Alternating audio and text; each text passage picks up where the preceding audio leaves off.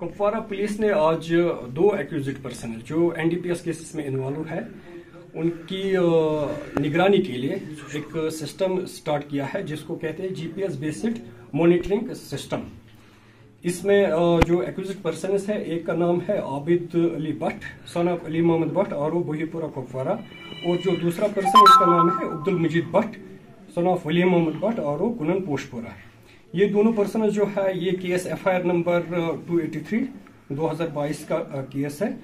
जो कि पीएस कुपवारा में रजिस्टर हुआ था। इन दोनों पर्सन की अब मॉनिटरिंग जो है, वो हम थ्रू जीपीएस बेस्ड जो ट्रैकिंग सिस्टम है, उसके थ्रू करेंगे, ताकि अब ये दोनों पर्सन जो है बेल आउट हुए हैं, और जहाँ जहाँ पे भी जाएँगे, इनकी हम कंटिन्यूसली सर्वेलेंस रखेंगे। ये एक हाईटेक सर्वेलेंस सिस्टम है जिसमें हम एक्यूज पर्सन को एक एंकलेट पहनाते हैं, उस एंकलेट के थ्रू जहाँ पे भी जाएँगे, हम उनकी सर्वेलेंस रख रहे हैं कि अगर ये इस जो कुपवारा पुलिस स्टेशन का जुरिस्डिक्शन है, अगर उससे बाहर जाएँगे या डिस्ट्रिक्ट कुपवारा से बाहर जाएँगे, जहाँ मतलब जहाँ पे भी जाएँगे, हम इनकी सर्वेलेंस रख रहे हैं।